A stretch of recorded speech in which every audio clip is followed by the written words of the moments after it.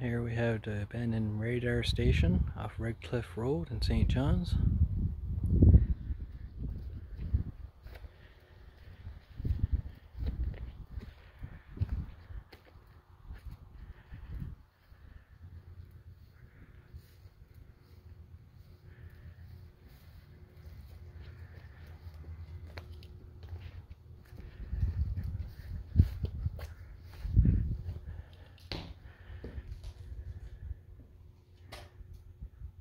Bit of graffiti in there.